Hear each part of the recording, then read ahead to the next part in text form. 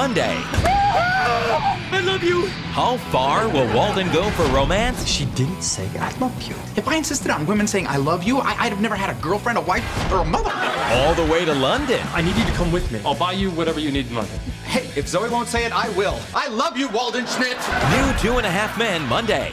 And now, an exclusive extended preview of Two and a Half Men. It's open. Hey, can I talk to you for a minute? Sure. What's up?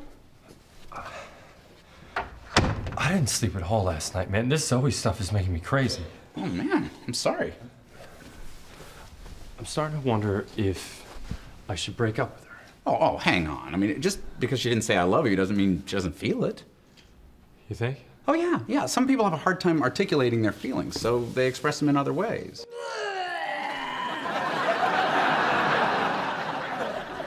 Is that Lindsay? Yeah, she had a little too much vino last night. Anyway, I, I think you just have to be patient with Zoe. Yeah, I guess.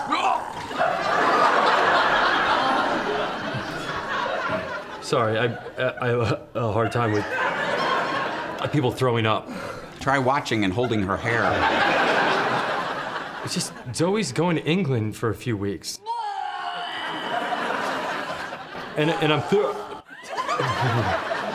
I'm, I'm starting to think if I'm gonna if I'm gonna end it, that now would be a good time. Well, it... whoa. You'd think I'd be used to it by now. All new Two and a Half Men Monday, only CBS.